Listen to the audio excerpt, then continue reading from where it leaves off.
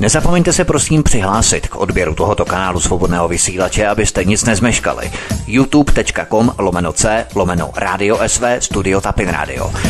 Dejte si prosím odebírat tento kanál kliknutím na červenou ikonku v horní pravé části obrazovky s nápisem odebírat a zaškrtněte také symbol zvonečku, abyste byli informovaní o nahrání každého nového pořadu. Tím také nepřijdete o čerstvé premiéry a rozmanité kauzy, které můžete dále sdílet na sociálních sítích.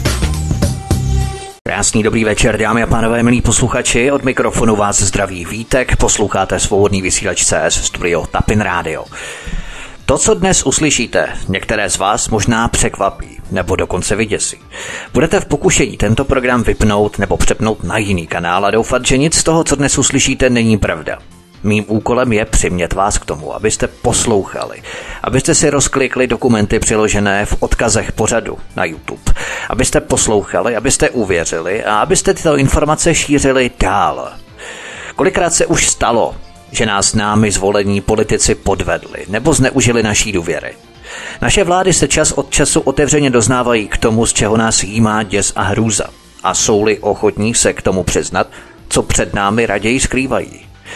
Úkolem dnešního pořadu je odhalit v celé své syrové brutalitě jeden takový dezinformační mýtus, který je programově zesměšňovaný a ironizovaný, aby se lidstvo udrželo v klidu a nevědomí. Ten fenomén se nazývá chemtrails, nebo chcete-li geoinženýrství. Já vás v dnešním programu přesvědčím o pravém opaku. Nevěříte? Pohodlně se usaďte a poslouchejte.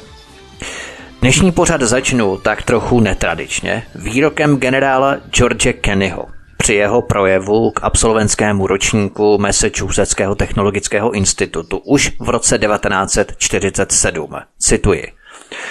Národ, který se jako první naučí přesně zakreslovat dráhy pohybu vzdušných mas a řídit dobu a místo srážek, bude vládnout země kouly.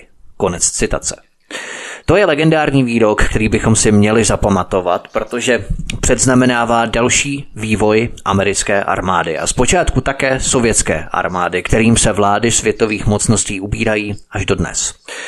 Někdy se tomu říká chemtrails, což znamená chemické stopy nebo také chemické pásy, pásy, které dělají letadla na obloze za sebou, jindy weather modification, ovlivňování počasí, nově geoinženýrství, je to nový vědní obor. Ocitáme se tedy v době těsně po druhé světové válce, kdy američané stejně jako sovětský svaz začínají pracovat na projektech pro řízení srážek a tedy souhrně na ovlivňování počasí. Podívejme se na to, co víme o těch začátcích, kdybychom se vrátili do doby před 70 lety těsně po druhé světové válce. Od roku 1947 jsou účty za vědecký výzkum, operace, politické studie, regulace, vztahy, zprávy o aktivitách, vytváření komisí a mezinárodní otázky, vedené v kongresu, v americkém kongresu, kde se zároveň konala řada slyšení o mnohých navrhovaných opatřeních.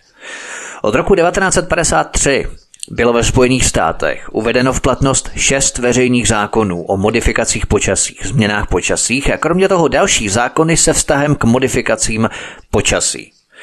Ocitáme se tedy na samotném Prahu snah o ovlivňování počasí. Tehdy se jednalo stejnou měrou o armádní projekty s cílem využití změn a ovlivnění počasí jako nového typu zbraně. Ale ten počáteční cíl a snahy byly vedené možná v dobré víře touhou americké vlády zkvalitnit život lidí rovnoměrnější distribucí srážek i do suších oblastí ve Spojených státech a tak dále. Jak se ale přesvědčíme, ten možná počáteční dobrý úmysl byl zničený a předelegovaný na armádní účely. Využití počasí jako strategické klimatické zbraně. Tehdy se na vyvolávání srážek experimentálně používaly krystaly jodidu stříbrného a rozstřikováním jodidu stříbrného do atmosféry se spouštěly srážky. Třeba v roce 1950 držitel Nobelovy ceny doktor Irving Langmuir prohlásil, že za správných podmínek může pouhých 30 mg jodidu stříbrného v atmosféře uvolnit stejnou sílu jako atomová bomba. Ten projekt vstřikování jodidu stříbrného do atmosféry, prováděný americkou vládou, se nazýval cloud seeding. Přeložit bych to mohlo jako osévání mraků. A i když ty projekty byly spíše smíšené, v řízení počasí se pokračovalo dál. Cloud seeding, to si zapamatujte, cloud seeding, osévání mraku, to je metoda, kterou budeme opakovat a se kterou se budeme setkávat poměrně často v dnešním prvním i druhém díle. Ale jak se zdá, tak už začalo jít primárně o armádní projekt změn počasí v rámci začátků závodů ve zbrojení a studené války než o blaho lidstva. Ke všemu se v zápětí dostanu v předkládaných dokumentech, které máte samozřejmě v dokumentech, v odkazech popisu pořadu na kanále YouTube a ze kterých čerpám mimochodem i teď. Prezident Dwight D. Eisenhower vytvořil poradní výbor pro otázku ovlivnění počasí v roce 1953. Předsedal mu kapitán Howard T. Orwell, který pro The American Weekly v roce 1958 prohlásil, že je naprosto nezbytné, aby porazili Rusy v ovládnutí počasí. Máme tu první oficiální dokument americké vlády z listopadu 1966, který vydal Homer E. Newell pro vládní mezirezortní výbor pro atmosférické vědy. Ten dokument nese název Doporučení Národní program pro úpravu počasí. A podle toho dokumentu je federální vláda angažovaná v řadě aspektů modifikací počasí, a to jak aktivitou kongresu, tak i výkonného oddělení, tedy exekutivy vlády. A v podstatě odhaluje, jak zainteresované státní agentury spolupracují s podnikateli a univerzitami na geoinženýrských operacích. Máte to, milí posluchači, v odkazovém aparátu v popise pořadu na YouTube. Jde o archivní dokument přímo ze serveru NASA. Kdybychom měli ve zkratce popsat, co tento dokument obsahuje, podívejme se na něj poněkud podrobněji.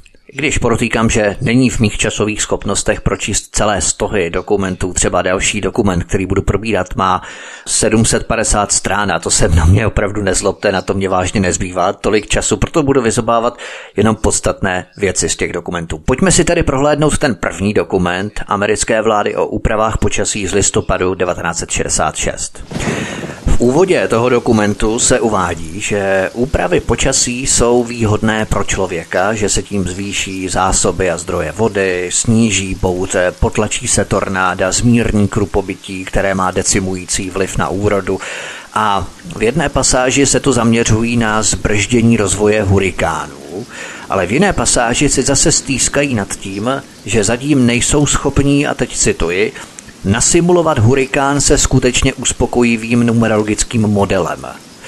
Oni tu totiž zkoumají matematické vzorce pro třecí vrstvy v rámci přenosu energie mezi Zemí a atmosférou a skrz spodní vrstvy atmosféry. Rychlost a přenos pohybu hurikánů, měření tepla a vody, pára s latentním teplem, které hurikán generuje v rámci simulace vývoje hurikánu. A to už uváděli v roce 1966, tedy na naše poměry velmi dávno před půl stoletím, před 50 lety. A v tomto dokumentu potom oslavují úspěchy ve změnách počasí. Opět tu cituji krystaly jodidu stříbrného v rámci projektu Cloud Seeding, osévání mraků tedy, a uvádějí, že Národní výbor pro atmosférické vědy NOAA založil v listopadu 1963 panel pro změnu počasí a klimatu, Potom další rok, konkrétně 16. června 1964, ředitel Národní vědecké nadace oznámil založení další zvláštní komise pro úpravu počasí a ta komise založila dalších sedm podskupin pro studium fyzikálních, biologických, statistických, sociálních, mezinárodních, právních a sociálních, administrativních, finančních a dalších aspektů v rámci změn počasí. Takže americká vláda si vytvořila skutečně obrovskou agendu kolem změn ovlivnění počasí. Propojila to do všech sfér rezortů, nejenom armády, ale i dalších skupin, výborů, komisí. Čili ta logistická stránka tvořila jakési týlové zajištění a podporu těch samotných experimentů se změnami počasí. Už tehdy to začínala být neskutečně obrovská agenda, jak se uvádí v tomto oficiálním vládním dokumentu. Této zprávě americké vládě z listopadu 1966 zmiňují také, že je nutné porozumět nejenom fyzice ohledně počasí, ale hlavně dynamice povětrnostních systémů. Cituji. Ty uvádějí do pohybu obrovské masy vzduchu, které se pak přesouvají do požadovaných oblastí. Konec citace. A to třeba zmiňuje bývalý ředitel CIA John Brennan, když skočíme trochu do současnosti, to bylo v roce 2016, ale k němu se také dostaneme, ale zmiňuji to teď právě proto, že to spolu přímo souvisí, protože John Brennan, bývalý ředitel CIA v roce 2016, v té nahrávce, kterou si také samozřejmě pustíme, až pokročíme v našem pořadu, on v té nahrávce říká, že na geopolitické stránce by potenciál technologie změnit povětrnostní vzorce a tím prospět určitým regionům světa na úkor jiných oblastí mohl vyvolat ostrý odpor některých národů. Konec citace.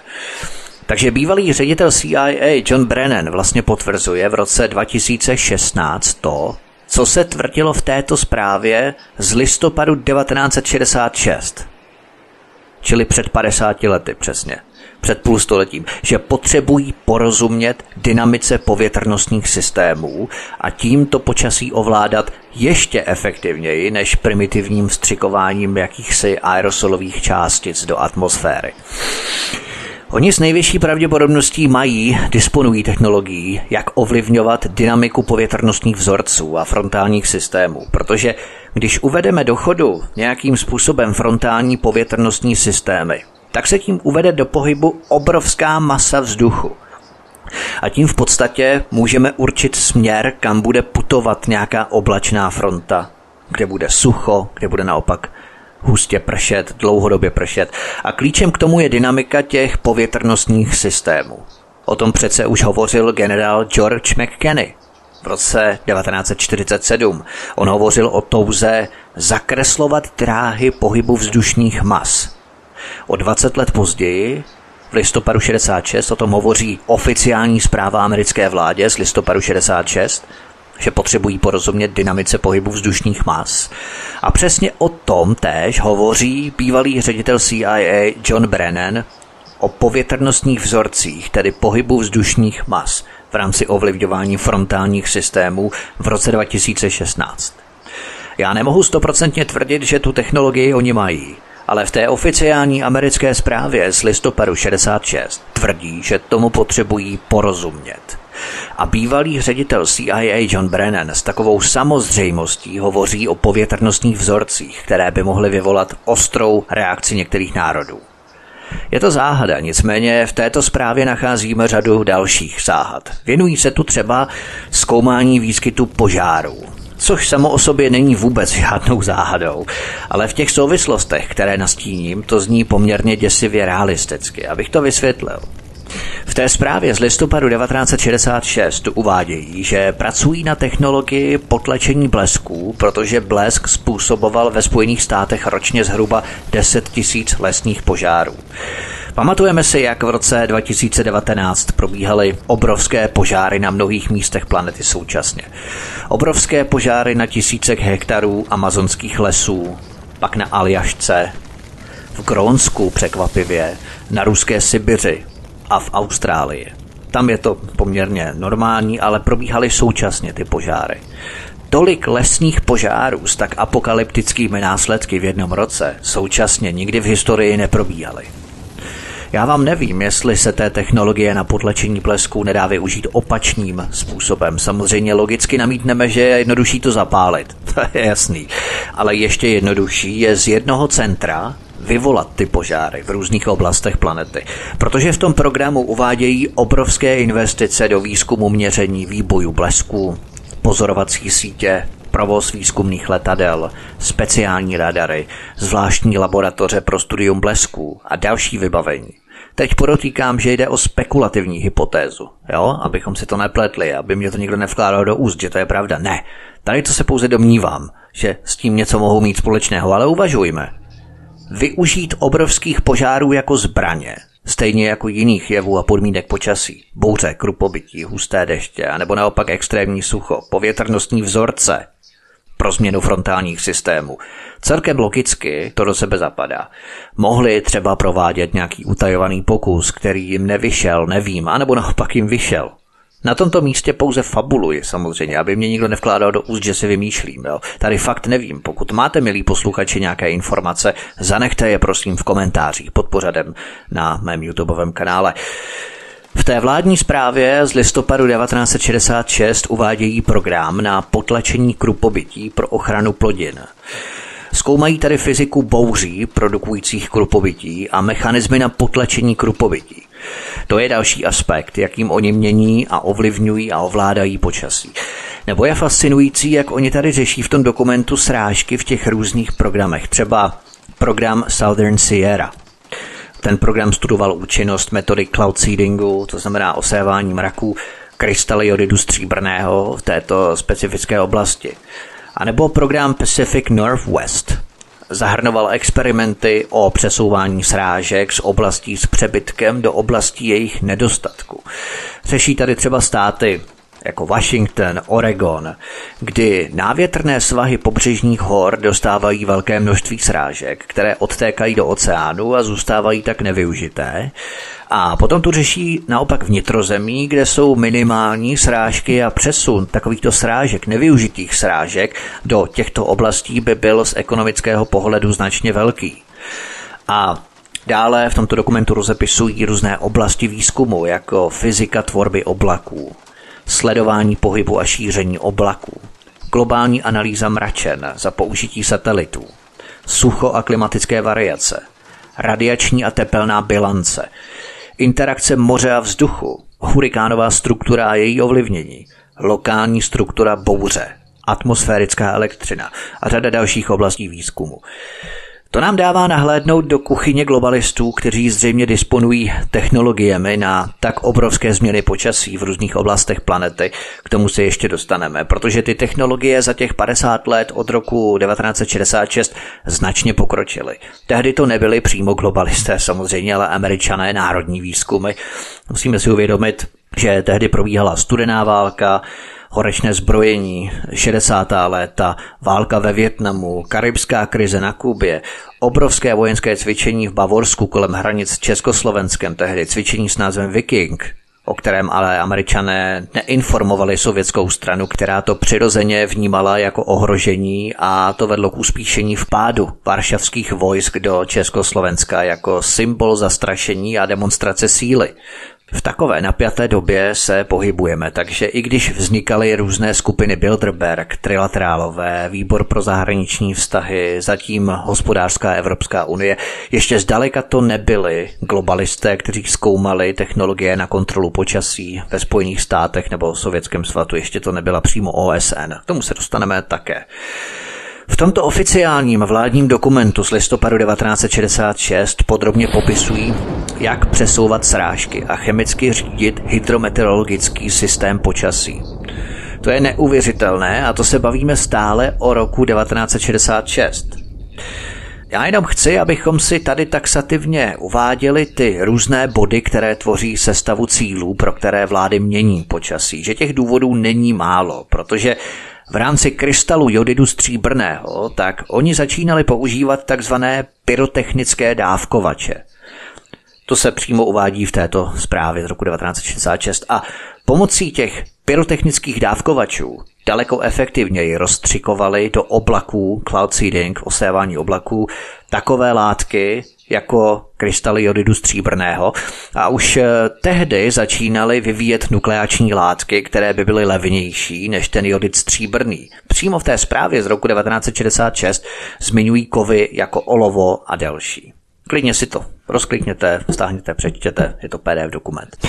A právě v tuto chvíli přerušíme moje povídání, dáme si písničku a po ní budeme pokračovat dál. Hezký večer. Máme po písničce zdraví vás svítek na svobodném vysílači pokračují dále v našem povídání o změnách, kontrole a ovlivňování počasí. Pojďme se ale přesunout na další oficiální zprávu americké vlády, a to na zprávu Výboru pro obchod, vědu a dopravu Senátu Spojených států amerických. Ta zpráva má 750 stran a dokumentuje široké změny počasí za posledních 12 let, tedy od roku 66 do roku 78, za 12 let. A tady je vidět, že za těch 12 let, jak jsem vám teď četl různé pasáže z té předchozí zprávy, tak jak za těch 12 let od roku 66 do 78 Ti dobytkové neskutečným způsobem začínali měnit, ovládat a ovlivňovat počasí. Tato druhá oficiální americká zpráva třeba uvádí, že letadla ministerstva obrany vytvářela všechny modely počasí ve středoatlantických státech i v Jižním Atlantiku. Míněno tedy Karibik. Sekce vysoké koncentrace byla v Jižní Pensylvánii. V této oficiální vládní zprávě se uvádí, že podle federální letecké agentury se tam konalo až 160 letů za 24 hodin. A tato letadla rozprašovala nukleáční jádra v různých koncentracích a vstřikovala je do atmosféry. Začínala 24 až 48 hodin předtím, než se v oblasti měl projevit model počasí. Ta oficiální vládní americká zpráva uvádí, že zasévání jader rozptylovalo veškeré letní bouře z kumulů. V zimě je sníh měněný v déšť s možností zvýšení srážek. Déšť v zimě pomáhá vyrovnat roční srážkovou bilanci, ale déšť v zimě zbavuje půdu úrodnosti a eroduje pole. Pro předcházení těmto škodám je nezbytný sníh a spevnění půdy vytrvalými plodinami jako například Vojtěžka, se v této zprávě píše. Tady je vidět, jak si už neberou servítky a to počasí začínají ovlivňovat neskutečným způsobem, až člověk žasne. A to se bavíme o 70. letech minulého století a už jedou opravdu na tvrdo. Ale tady je opravdu vážně zajímavá ta Pensylvánie, protože právě Pensylvánie si tehdy získala pověst státu bez zákonu, pokud jde o osévání mraků, ten projekt Cloud Seeding tedy. Dokonce tehdejší dva tajemníci pro zemědělství vyzdvihli nutnost regulovat změny počasí. Státní Pensylvánská univerzita například pomlouvala všechny ty, kteří chtěli zastavit ty změny počasí, protože sama Pensylvánská univerzita se na těch výzkumech podílela a lhala o svých vlastních výsledcích osévání mraku. A další instituce bránily přijetí zákonů, které by zastavily to osévání mraku, cloud seeding. Jelo v tom ministerstvo zemědělství, úřad pro letectví, federální úřad pro vyšetřování, tedy FBI, Pensylvánská státní univerzita v tom jela na tvrdo. V rámci výzkumu, akademická půda a všechny součásti americké federální vlády, které prováděly osévání mraků nebo v něm byly zainteresované. Tehdy to byl obrovský skandál, ta zpráva to dokonce nazvala meteorologickým Watergatem. Navíc eh, tato zpráva amerického senátu uvádí, že do roku 1973 provedlo úpravu počasí nejméně 62 zemí. Ta zpráva také uvádí, že Spojené státy upravovaly sílu hurikánu. A tomu bych se chtěl teď v krátkosti také věnovat. Protože v této zprávě se uvádí, že americká vláda v roce 1975 podporovala, teď dobře poslouchejte, podporovala výzkum úpravy síly hurikánu. Já to sdělím ještě jednou. Vláda, americká vláda v roce 1975 podporovala výzkum úpravy síly hurikánu. Co to znamená? Znamená to, že hurikán může být buď zesílený nebo zeslabený, podle toho, jak to vyhovuje vládě Spojených států amerických, lídrovi na operace spojené s úpravou počasí. Pamatujeme si třeba na obrovský hurikán Patricia, Patricia, tuším z roku 2015, s větrem dosahujícím síly až 350 km v hodině. Pamatujeme si na hurikán Katrina v roce 2006-2007. Teď nevím přesně ten rok. Obrovský hurikán v Louisianě na jihu Spojených států. A právě po tomto hurikánu Katrina v roce 2006-2007 byly dražby z devastované Louisiany přidělené milionářům okolo George Bushe mladšího, tehdejšího prezidenta, aby tady znovu tito milionáři a miliardáři znovu postavili továrny. Třeba to byla náhoda, ale třeba také ne. Když stavíme na misku váh obě možnosti, žádnou z nich nemůžeme vyloučit. Já netvrdím, aby mě to nikdo nepodsouval, že vláda Spojených států amerických vyrobila hurikán Katrina, pro boha. Ať mi to zase nikdo nepodsouvá. Já jenom říkám, že všechny přírodní katastrofy se dají zesílit anebo zeslabit podle okamžité potřeby. Když si uvědomíme, že americká vláda zkoumala úpravu síly hurikánů už od 70. let minulého století, myslíte, že za 30 let do té Katriny tu sílu dostatečně nevyskoumali? Teď velmi kacířská myšlenka, podotýkám spekulativní, hypotetická, fabulativní, jak chcete, jenom zamyšlení, jo? Nemohou být hurikány skvělým ekonomickým stimulem pro nastartování ekonomiky v dané oblasti. Podobně jako dravá rekonstrukce a budování po válce třeba, například po druhé světové válce. Představte si situaci před hurikánem. Lidé bez práce, ekonomický růst se zpomaluje, lidé příliš nekupují, ekonomika se nehýbe a tak dále. A situace po hurikánu. Poničené domy, spadnuté stavby, rozbité továrny, zatopené fabriky, školy, úřady, celá městská infrastruktura poničená, rozpraskaná, rozbitá, zdevastovaná. Skvělý impuls, stejně jako po válce, k nastartování ekonomiky. Co myslíte? To všechno přece zaměstná spoustu lidí. Nastartuje se ekonomika, miliardáři kolem prezidenta George Bushe mladšího se napakují, protože nikdo jiný nemá takové peníze, které by investoval v tak masovém měřítku a věděl by, že se mu vrátí. Takže zbohatnou zase a jenom ti nejbohatší. Lidé investují do oprav, znovu budují domy, půjčí si, hlavně zadluží se, hypotéky, obrovské hypotéky, protože stát jim dá maximálně nějakou bůh ví jestli čtvrtinu, nebo ještě méně. Silnice rozbité, státní budovy, všechno je potřeba opravit, opravovat, zaměstnávat stavební firmy, stavařská lobby, developeři. Americká vláda už 40 let zkoumá úpravu síly hurikánu. Myslíte, že to, co jsem popsal, je příliš nerealistický scénář, že je to daleko od pravdy, neblíží se to realitě? Vlády už se přece dopustily takových svinstev vůči občanům, že bychom se už měli osvobodit od těch prvotních instinktů, které nám spínají blokaci v mozku, že vlády by nám přece tohle jak těživ nemohly udělat. Já tvrdím, že mohli, pro prachy, pro ekonomiku, pro kapitalismus jsou ochotné obětovat naše životy i naše zdraví. Ovšem s těmi hurikány je to pouze moje hypotéza, ještě jednou to předesílám, ale když si uvědomíme, že americká vláda hovoří o výzkumu úpravy síly hurikánu už 40 let, od 70. let minulého století, dostává to děsivé obrysy.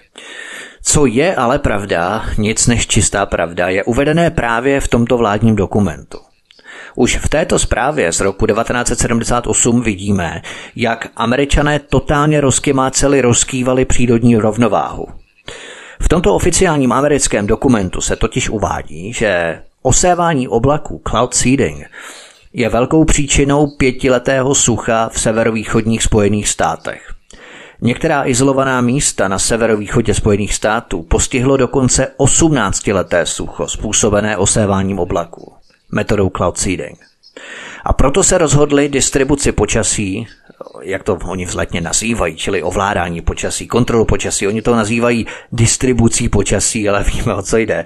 Tak kvůli těmto obrovským suchům, která postihla severovýchod Spojených států, se rozhodli distribuci počasí v Jižním Atlantiku pozastavit, protože způsobila snížení srážek na východním pobřeží Spojených států o 30 srážek, které jsou potřeba proto, aby bylo zemědělství úspěšné.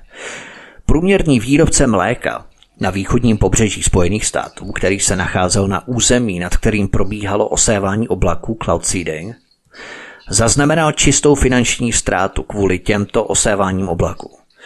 Jenom ztráty v pěstování plodin v okrese Franklin, například se to uvádí, dosáhly až na výšku 50 milionů dolarů. Naopak v místech, na kterých účinky osévání oblaků oslabují, nastává bujná tvorba oblaků a to způsobuje záplavy. Ničí plodiny, budovy a smrt lidí a zvířat utopením. Konec volné citace z oficiální vládní zprávy Spojených států amerických z roku 1978.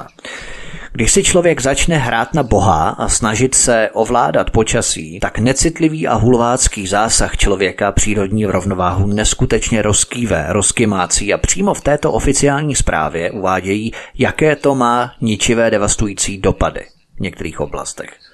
Několika leté sucho, pětileté, v některých oblastech až 18 leté sucho, v jiných zase obrovské záplavy, protože Spojené státy ovládaly počasí v Jižním Atlantiku, což se odrazilo a projevilo suchem na východním pobřeží Spojených států a zase ničivými záplavami jinde v jiných oblastech. To jsou oficiální fakta uvedená v této vládní zprávě. To všechno nám ukazuje ve skutečně obludných rozměrech, jak chemtrails nebo chceme-li geoinženýrství, všechna tato svinstva chemického řízení, hydrometeorologického klimatu nemilosrdně pokračovala dál. Pojďme se podívat dál na třetí zprávu a teď už to začne být hodně drsné. V roce 1995 vydali Spojené státy, konkrétně námořnictvo US Navy, dokument s názvem Počasí jako násobitel síly anebo ovládnutí počasí v roce 2025. A to už je vážně hodně drsné, zvlášť když si uvědomíme, že do toho roku 2025 už nám zbývají jenom čtyři necelé roky.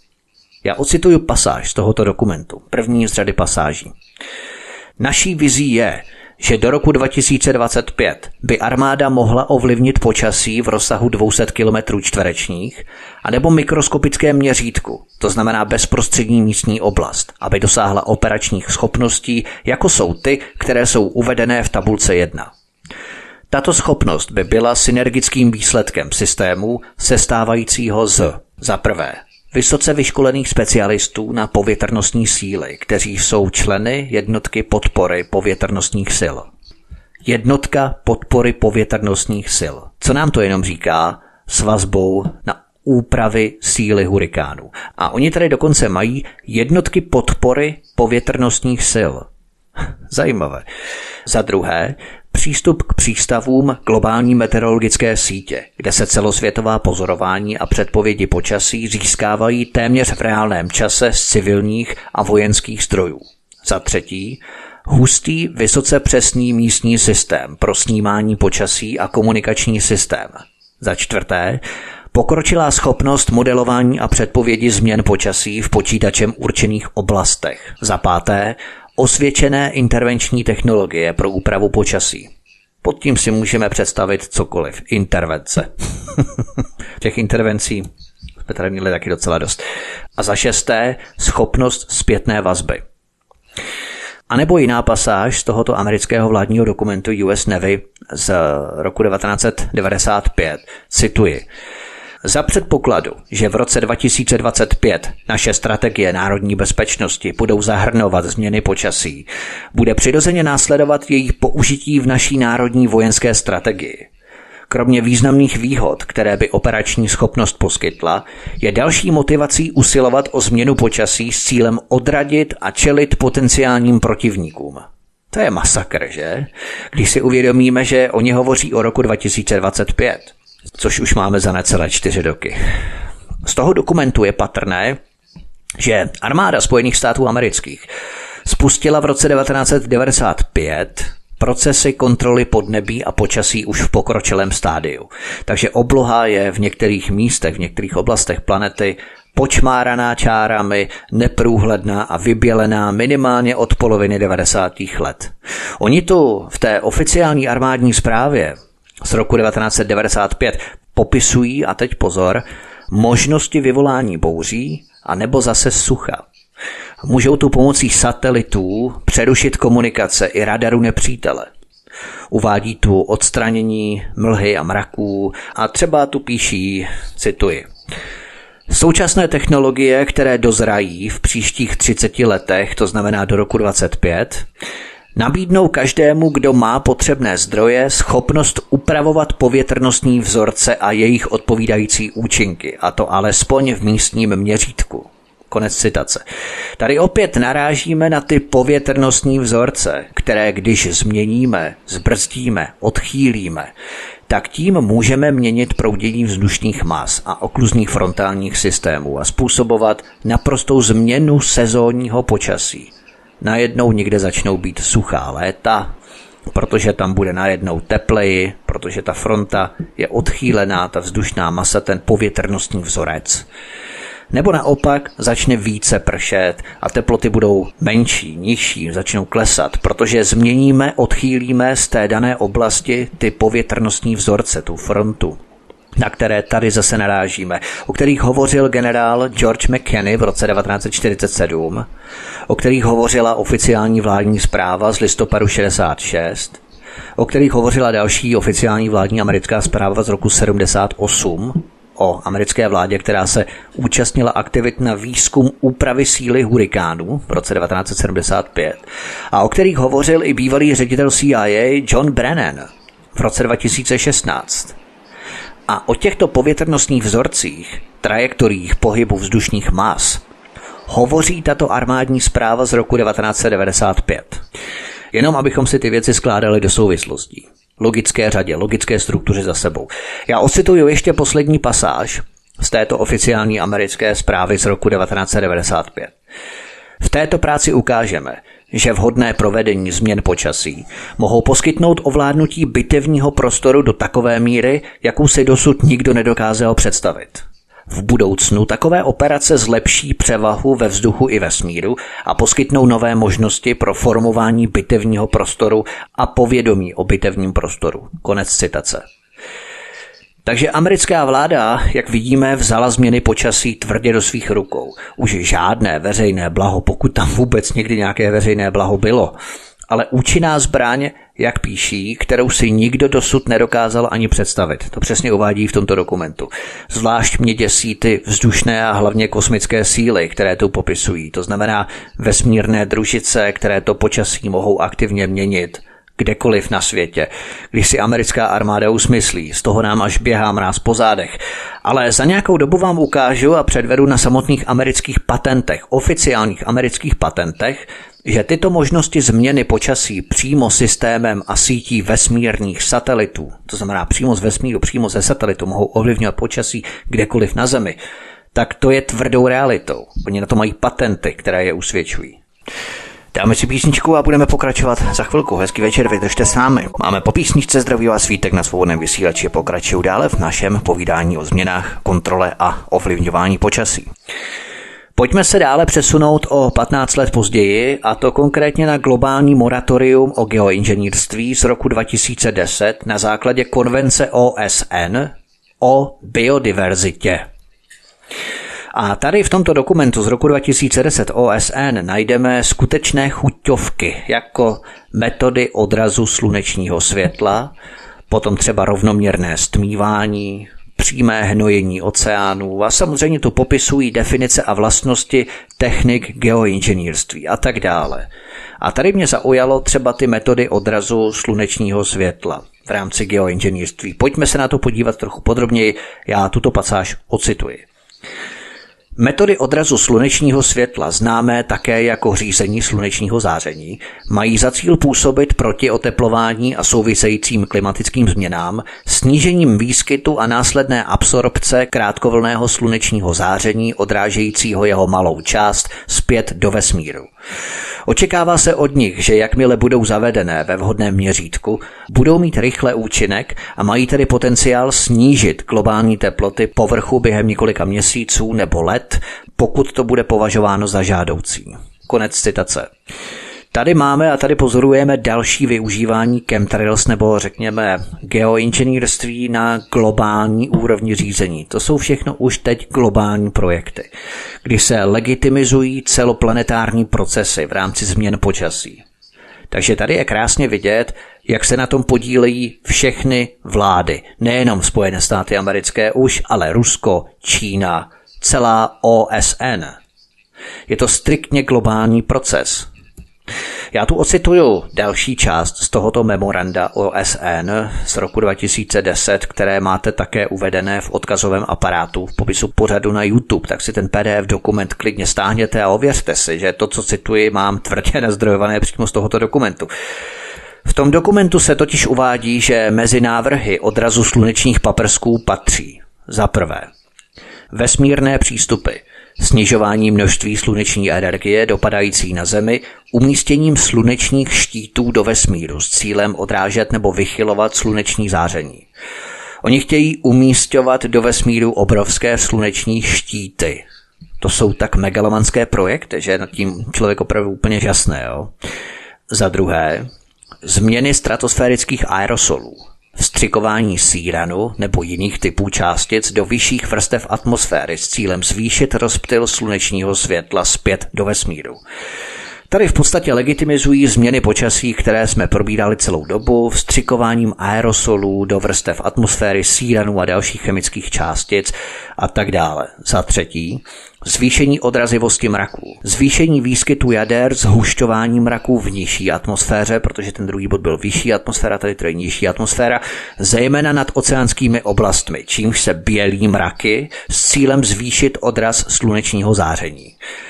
Až toho člověka úplně mrazí v zádech, že? Co všechno se plánovalo už od roku 2010. Třeba, jak jsem zmínil, to hnojení oceánu, fertilizace, tak to je taky neskutečná prasárna, protože v tom moratoriu OSN z roku 2010 uvádí, Obohacení živin v mořském prostředí s cílem stimulovat rostlinnou produkci, tedy absorpci CO2 z atmosféry a ukládání uhlíku v hlubokém oceánu. Konec citace. Oni nejen, že ovlivní povrch planety i atmosféru, oni dokonce zasvíní i oceány snahou ukládat uhlík v oceánu. Takže ten ekosystém v oceánu se chtě nechtě začne také ovlivňovat. To je prostě neskutečné.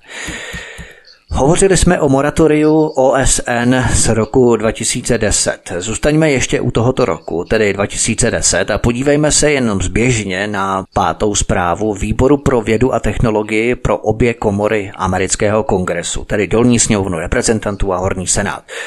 Ta zpráva z roku 2010, americká oficiální vládní zpráva, nese název Inženýrství v oblasti klimatu, potřeby výzkumu a strategie mezinárodní koordinace. Odkaz na tu zprávu máte také v popisu pořadu na YouTube. Já se u ní příliš dlouho nezdržím, ale důvod, proč tuto zprávu zmiňuji, je zmínka o dvou geostacionárních satelitech, které měly být vypuštěné mezi lety 2015 až 2017. A přímo v té zprávě uvádějí, že tyto satelity mimo jiné poskytnou údaje o teplotě povrchu moře, výšce a teplotě oblačních mraků a detekci aerosolů. V této oficiální americké zprávě z roku 2010 uvádí, cituji, Tyto nástroje by mohly informovat o výzkumu vstřikování stratosférických aerosolů, bělení mořských mraků, hnojení oceánů a dalších strategiích v oblasti klimatu. Konec citace. Takže se tu počítá, že satelity budou schromažďovat data o vstřikování aerosolu do atmosféry po celé planetě. Jinak by k tomu logicky nepotřebovali satelity, že jo? Takže chtějí monitorovat to, co už dávno probíhá. Je to tu černé na bílém. Pokud by žádné vstřikování aerosolu do vesmíru neprobíhalo, tak proč by to chtěli najednou monitorovat?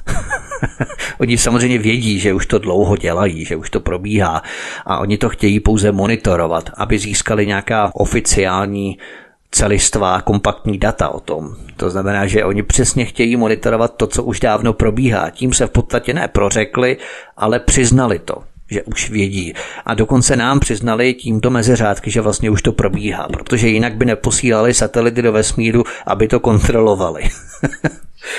Tady vidíme, že všechno probíhá v obrovském utajení. Přesuňme se z roku 2010 do současnosti, a to do roku 2021. V popise pořadu na YouTube máte odkaz na zprávu Reuters, která uvádí, že Harvardská univerzita spouští projekt, ve kterém otestují teorii, že globální oteplování lze zastavit sprejováním atmosféry částicemi, které odrazí sluneční paprsky. Ani nás už ani snad nepřekvapí, že tento projekt z větší části sponzoruje náš kámoš z garáže Bill Gates. A v této zprávě Reuters hovoří o zkušebním balónu ve Švédsku, který bude za tímto účelem vypuštěný a který při těchto experimentech do atmosféry vypustí až 2 kg netoxického prachu z uhličitanu vápenatého. Ty megalomanské projekty klimatického ovlivňování počasí na globální úrovni jsou tak obrovské, že už nejdou tak dobře zatajovat. A proto už pomaloučku upouštějí sem tam nějakou tu zprávičku, aby potom mohli tvrdit, ano, děje se to, ale jenom v malém měřítku.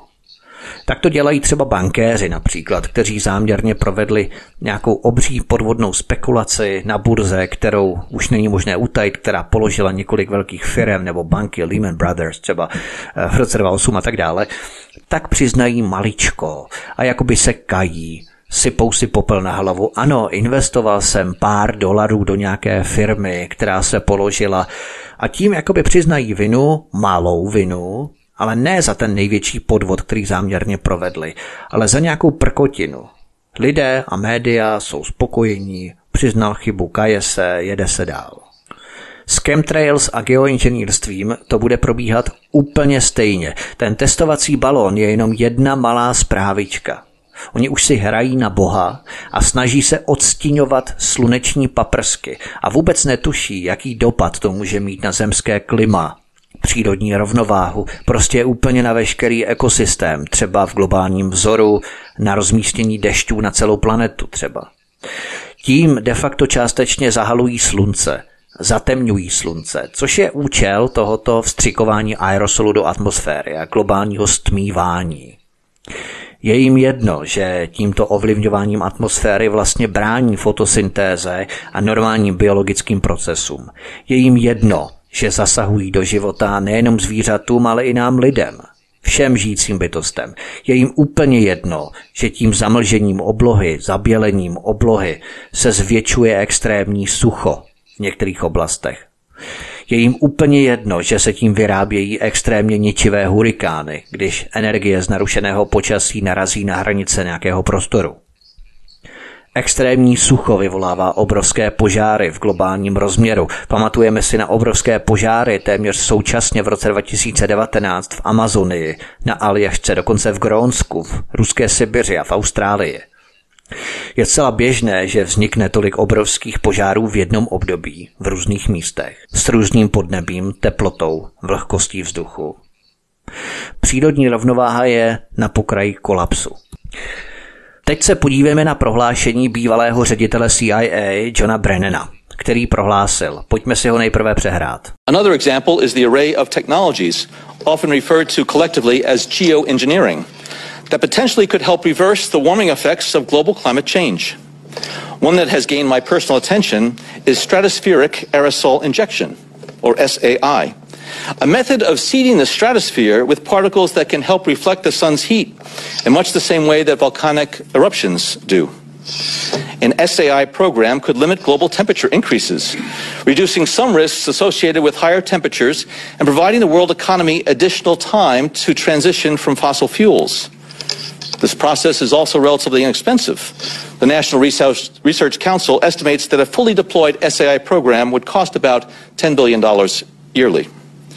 As promising as it may be, moving forward on SAI would also raise a number of challenges for our government and for the international community. On the technical side, greenhouse gas emission reductions would still have to accompany SAI to address other climate change effects, such as ocean acidification, because SAI alone would not remove greenhouse gases from the atmosphere. On the geopolitical side, the technology's potential to alter weather patterns and benefit certain regions of the world at the expense of other regions could trigger sharp opposition by some nations. Others might seize on SAI's benefits and back away from their commitment to carbon dioxide reductions. And as with other breakthrough technologies, global norms and standards are lacking to guide the deployment and implementation of SAI and other geoengineering initiatives. Cituji. Dalším příkladem je řada technologií, často souhrně označovaných jako geoinženýrství, což by potenciálně mohlo pomoci zvrátit účinky oteplování v rámci globální změny klimatu. Jeden příklad, který si získal mou osobní pozornost, je vstřikování aerosolu do atmosféry neboli CAI. Metoda rozsévání částic do stratosféry, která může pomoci odrážet sluneční teplo, podobně jako to dělají sopečné erupce. Program SAI by mohl omezit zvýšení globální teploty, snížit některá rizika spojená s vyššími teplotami a poskytnout světové ekonomice další čas na přechod z fosilních paliv. Tento proces je také relativně levný. Národní rada pro výzkum odhaduje, že plně nasazený program si ročně vyžádá zhruba 10 miliard dolarů. Jakkoliv to může být slibný pokrok, SAI by také přineslo řadu výzev pro naší vládu a pro mezinárodní společenství. Po technické stránce by snižování emisí skleníkových plynů muselo SAI doprovázet při řešení dalších účinků změny klimatu, jako je například okyselování oceánů, protože sám by skleníkové plyny z atmosféry neodstranil. Na geopolitické stránce by potenciál technologie změnit povětrnostní vzorce a prospět určitým regionům světa na úkor jiných oblastí mohl vyvolat ostrý odpor některých národů. To je přesně to, o čem jsem hovořil. Změny trajektorií hurikánu, výzkum úpravy síly hurikánu americkou vládou, dynamika povětrnostních systémů a tak dále. Dále ještě cituji, dokončíme ten projev Johna Brennana.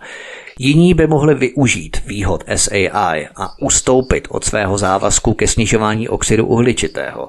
A stejně jako u jiných průlomových technologií chybí globální normy a standardy, které by řídily nasazení a implementaci SAI a dalších geoinženýrských iniciativ. Konec citace.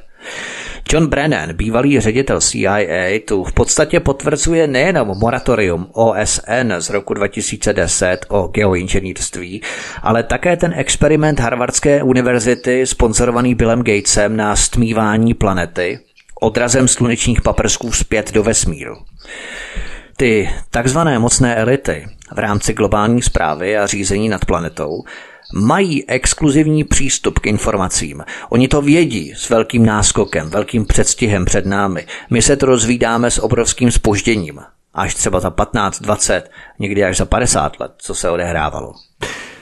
Písnička na cestě a po ní budeme pokračovat dál. Hezký večer. Máme po písničce zdraví a svítek na svobodném vysílači. Pokračuju dále v našem povídání o změnách, kontrole a ovlivňování počasí. Přehráli a přeložili jsme si výrok bývalého šéfa CIA Johna Brennana a pojďme si ještě přehrát další výrok bývalého šéfa FBI speciálního agenta Teda Gundersona. Ted Gunderson sloužil od 50. let minulého století v FBI pod jejím nejdéle sloužícím ředitelem Johnem Edgarem Hooverem a pro FBI Ted Gunderson pracoval 27 let.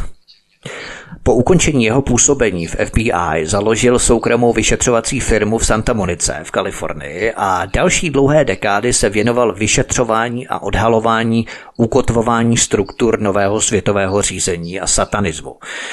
Ted Gunderson se zabýval třeba případem zneužívání dětí v Manhattan Beach v Kalifornii, vyšetřoval celosvětové obchodování s dětmi a globální pedofilní síť, kdy jsou děti prodávané k sexuálnímu zneužívání politiky. To znamená nejenom Pizzagate, to je jenom vrchol ledovce, špička ledovce, to zasahuje velmi dlouho a velmi hluboko do minulosti. Ted Gunderson také odhalil, že CIA byla dlouhodobě zapojená do obchodu s drogami stála za operaci pod falešnou vlajkou False Flag Operations a samozřejmě projektem NK Ultra, projekt na ovládání myslí lidí od roku 1953 a samozřejmě zneužívání dětí. Ted Gunderson tedy není žádné ořezávat. Naopak byl to insider mocenských struktur, který tyto záležitosti široce odhaloval.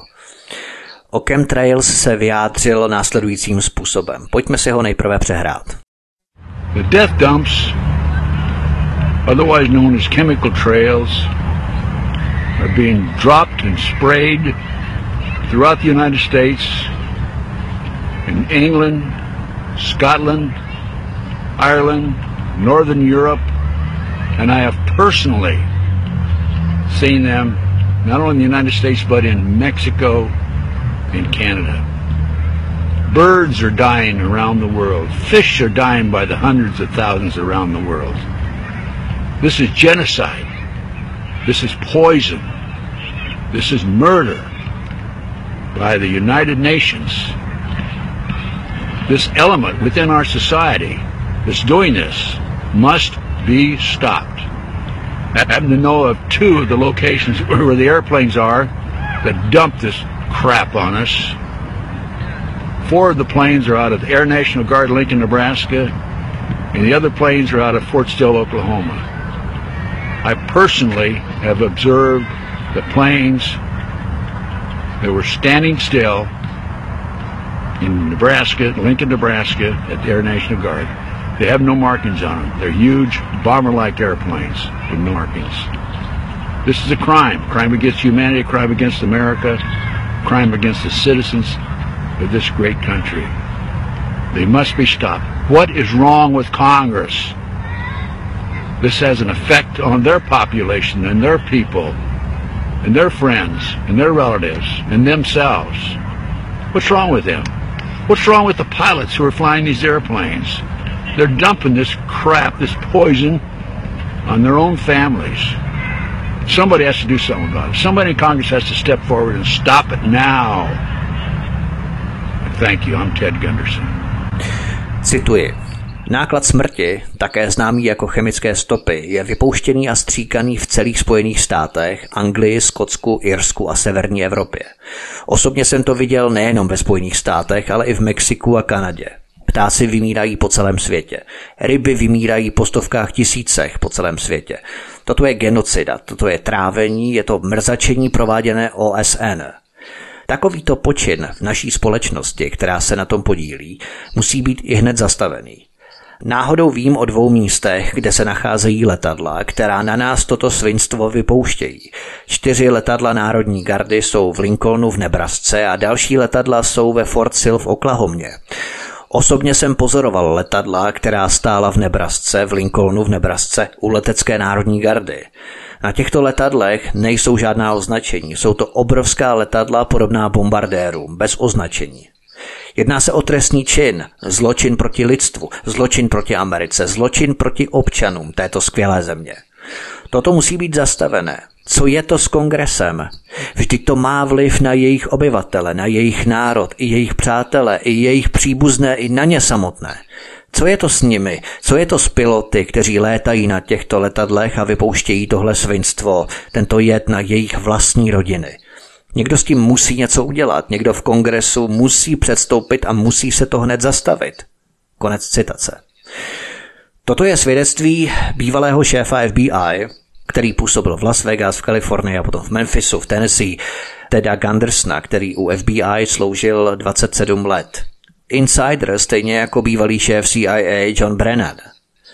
Ještě se vůbec najde někdo, kdo má tu drzost nebo odvahu spochybňovat masivní chemtrails, respektive geoinženýrství.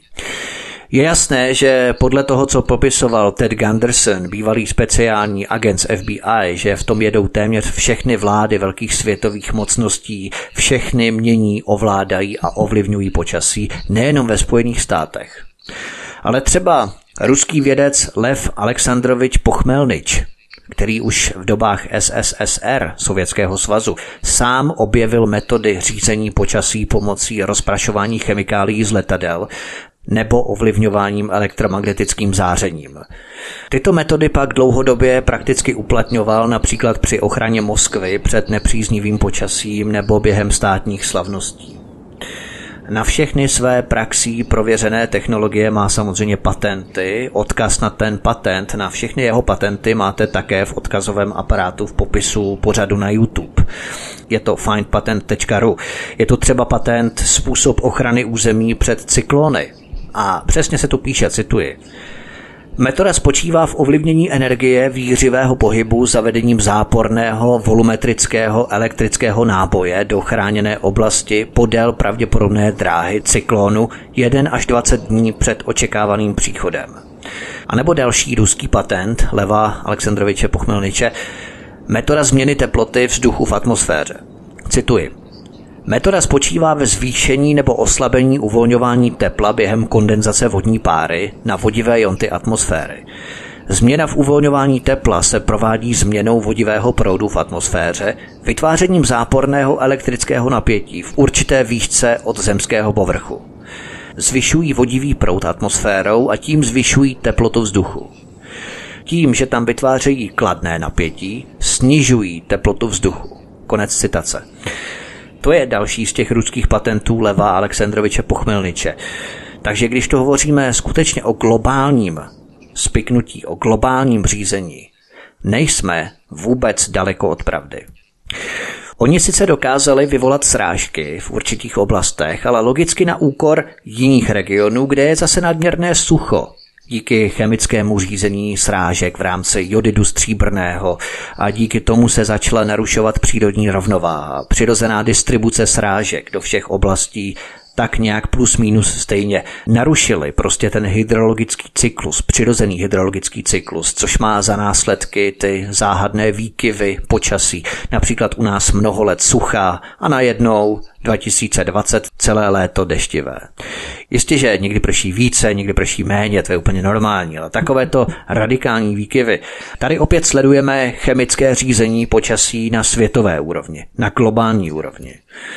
To vidíme i na počasí v rámci onoho zatemňování a odrážení slunečních paprsků zpět do vesmíru, kdy se vyrábí umělá oblačnost pomocí aerosolu v atmosféře a pokud náhodou výjde slunce, nikdy to není příliš dlouho, nebo už nevidíme tu oblohu jasnou, průzračnou, sitou modř, jako ještě si pamatujeme, možná v devadesátkách nebo ještě dříve.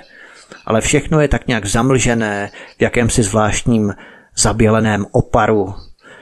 Tohle jsou ty průvodní jevy zatemňování oblohy, střikováním aerosolových částic do atmosféry, třeba podle toho moratoria OSN z roku 2010 o geoinženýrství. A to jsou přesně ti politici, je jedno, jestli ze Spojených států, z Ruska, z Česka nebo Slovenska, kteří, aby si dál udrželi to zlaté tele dalších čtyř let ve sněmovně nebo v senátu, tam je šest let, že jo, tak budou držet hubu, mlčet, anebo zesměšňovat, ironizovat.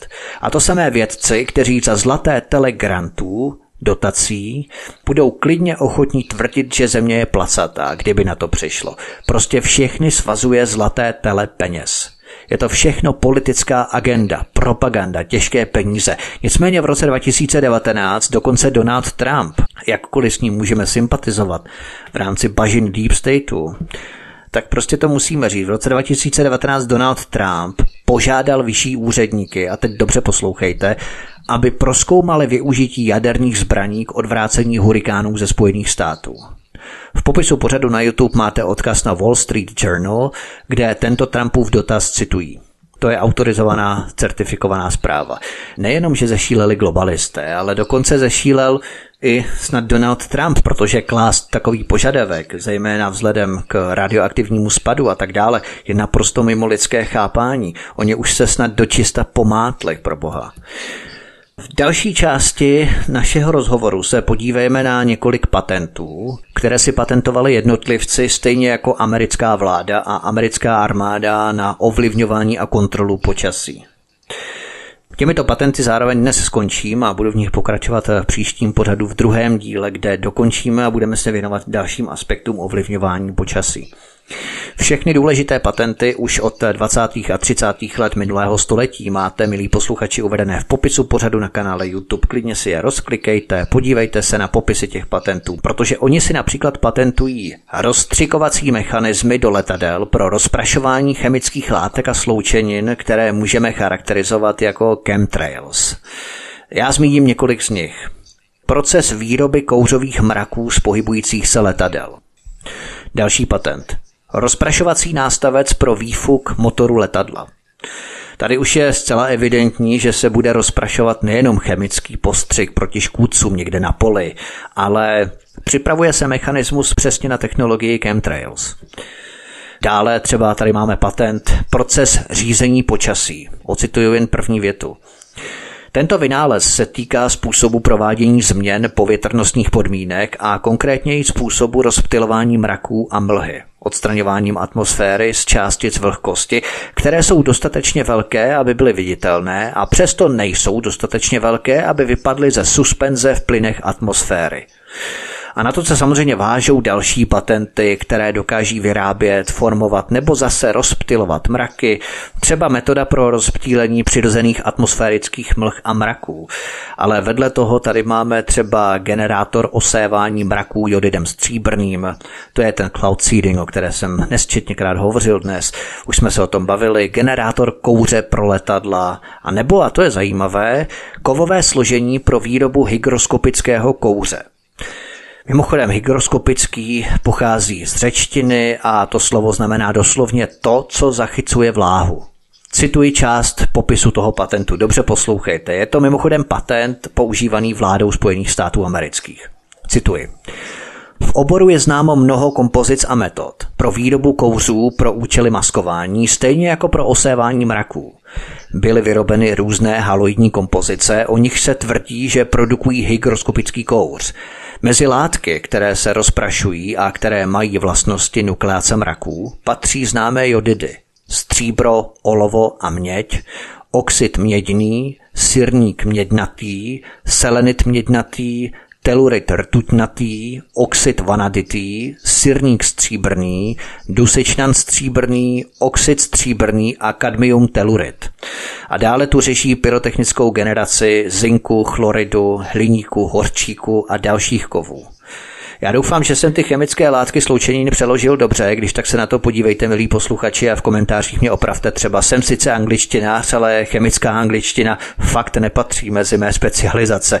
Ale každopádně tady vidíme z oficiálního patentu, jaká svinstva na nás sypou v rámci těchto hygroskopických mraků, která mají rozptilovat mračna, co všechno mají patentované v rámci ovlivňování a změn počasí. Tohle je oficiální patent, prosím pěkně, pro cloud seeding, osévání mraků přímo z letadel, protože když se podíváme na popis toho předchozího patentu, například generátor kouře z letadel, tak ten popis je více než výmluvný. Cituji. Generátor kouře je zvláště vhodný pro montáž na koncích křídel letadla a pro provádění studií proudění vzduchu. Zařízení zahrnuje síť tepelně izolovaných trubek pro vedení tekutiny, která se používá k výrobě kouře. Jaký pak kouř nám to asi vyrábějí, že? Jde pravděpodobně o onen hygroskopický kouř, který vysušuje atmosféru a tím rozpouští oblaka. K tomu se dostanu později. Pokračuju ještě v citaci toho patentu. Tekutina, která nemusí být hořlavá, se ohřívá nad teplotu odpařování elektrickým proudem, který prochází trubkami pro tekutinu. Takže trubky slouží jak jako potrubí pro tekutinu, tak jako odporové topné prvky. Tady i krásně popisují, jak se tyto systémy montují na konce křídel letadel. Je to jeden z mnohých patentů, který máte v popisu pořadu, uvedený v rámci toho odkazového aparátu. Tady vidíme, jak americká, ale i další vlády mají ty mechanismy patentované, což je vedle těch všech oficiálních dokumentů, které jsme probrali, usvědčuje, protože třeba další patent tu koukám, patent nese název automaticky nastavitelný rozprašovací systém křídel s čerpadlem. K tomu se také, speciálně k tomu se také dostanu v rámci komunikace věže s pilotem jedné zachycené komunikace, kde to bude přesně patrné. Ale máme tady třeba další patent s názvem Způsob výroby srážek z atmosféry. Takže už umějí spouštět déšť, když je zrovna potřeba, ale jak ty patenty a systémy postupují, zdokonalují se, tak v 80. a 90. letech minulého století se už vyvíjejí satelitní systémy, které dokáží ovlivnit počasí v určené oblasti rovnou přímo z vesmíru, rovnou přímo ze satelitu z družice. A na ty oficiální patenty, které umí ovlivňovat počasí rovnou z vesmírných satelitů a na to, jaké to má dopady, na techniky, metody toho ovlivňování, jakými to provádějí, na to se podíváme ve druhém díle pořadu o tom, jak světové vlády mnoho dekád upravují, kontrolují a mění počasí. Zanechte mě prosím komentáře pod pořadem na YouTube, budu velmi rád, pokud budete tento pořad stílet, jakož i druhý díl, který vás čeká příště. Samozřejmě proklikejte si všechny přiložené dokumenty, pročtěte si to jednak, abyste se přesvědčili o tom, o čem hovořím, a jednak třeba i vy najdete v těch dokumentech něco zajímavého, co jsem opomněla, co mě můžete šoupnout do komentářů pod tento pořad na kanálu YouTube. Od mikrofonu vás zdraví Vítek, těším se s vámi příště opět naslyšenou, hezký zbytek večera. Prosíme, pomožte nám s propagací kanálu Studia Tapin Rádio Svobodného vysílače CS. Pokud se vám tento nebo jiné pořady na tomto kanále líbí, klikněte na vaší obrazovce na tlačítko s nápisem Sdílet a vyberte sociální síť, na kterou pořad sdílíte. Jde o pouhých pár desítek sekund vašeho času. Děkujeme.